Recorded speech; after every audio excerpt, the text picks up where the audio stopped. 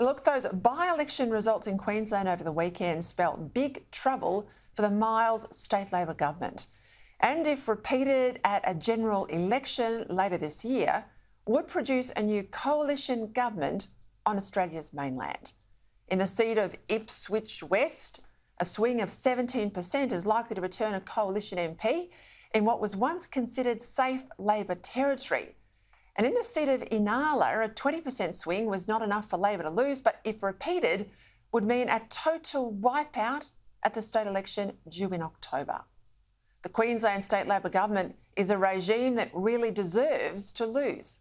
For bloating the public service, for imposing punitive taxes on mining, for neglecting infrastructure, mismanaging health, and losing control of a youth crime wave.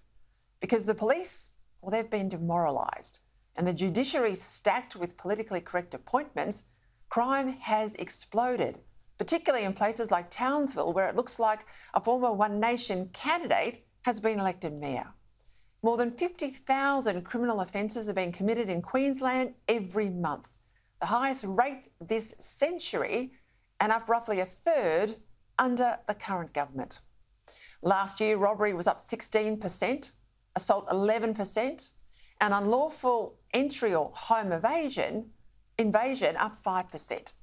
In Queensland, as elsewhere, Labor's essential problem is it's gone from being a working class party to a party of the Green Left.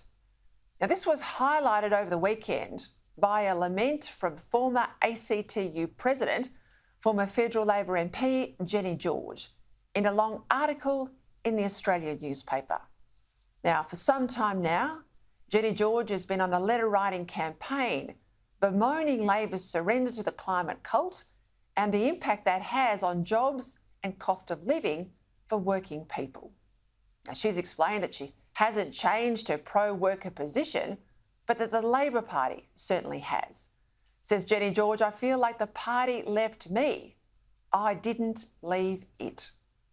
Labor governments are now vulnerable right around the country, provided there's a coalition that's strongly in favour of putting jobs at least on a par, if not ahead, of emission cuts and putting the aspirations of everyday people ahead of inner city obsessions like identity politics.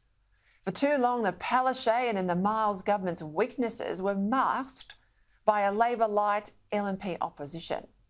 But not under David Crisafulli, who's promised to end Labor's arrest and release scheme for young offenders and the Green Lawfare against resource and infrastructure projects, and sort out the paralysis and overspending on Brisbane's Olympics bid. Finally, the centre right has someone who wants a fight with Labor over the things that matter to ordinary people, not to just be a less worse version of them, but a real alternative. Crisafulli can win, and Dutton can win like him if they find a way for traditional Labor voters to support a coalition team who respects what they do for a living and respects their values. This is where stalwarts like Jenny George are the canary in the coal mine for Labor, and I mean that quite literally.